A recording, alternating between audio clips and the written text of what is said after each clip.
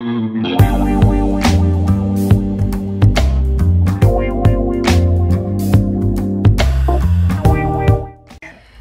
then I realized that the love my grandpa gave me, I could give it to other people.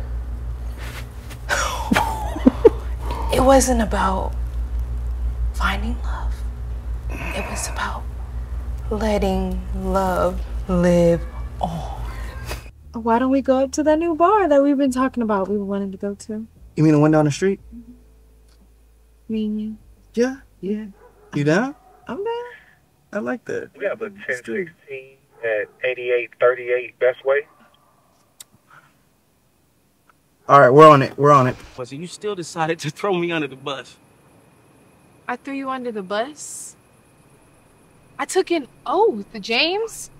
You wanted me to cheat the reports? Are you serious? That old shit don't fly all the time, May. There are gray areas in this shit, and this was one of them. Fuck. Okay. So, you just wanted me to put my job on the line and my life on the line?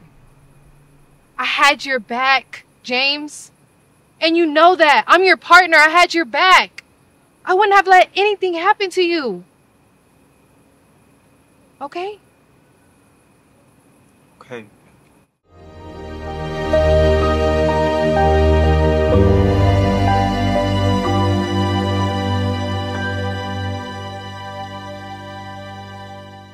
And then possibly we'll go car shopping. Okay, okay. Dad, can you do me a favor? Mhm. Can you tell mom I said I'm sorry?